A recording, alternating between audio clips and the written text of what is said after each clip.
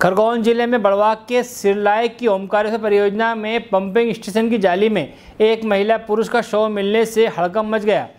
सूचना लगते ही मौके पर पहुँची पुलिस और मामले की पड़ताल शुरू की है। हम आपको बता दें कि दोनों के शव रस्सी से बंधे हुए थे। जेब में मिले सुसाइड नोट के आधार पर आत्महत्या करने की बात उजागर हुई है।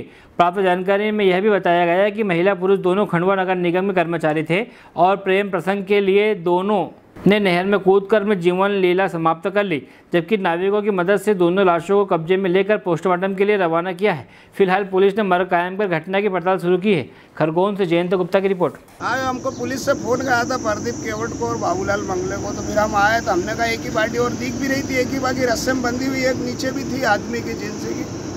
तो हमने आए, देखे नीचे उतरे तो हमने बोला, दो बाल्टी है वही तो वो दो ही पुलिस दोबारा निकाले गई। क्या इनके आपस में बंधे हुए थे? बंधे रस्से आपस में रस्सी से बंधे हुए थे।